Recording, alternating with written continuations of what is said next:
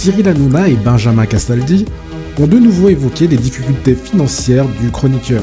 Et l'animateur star a fait savoir qu'il refusait pour le moment de se porter caution pour un crédit de 500 000 euros.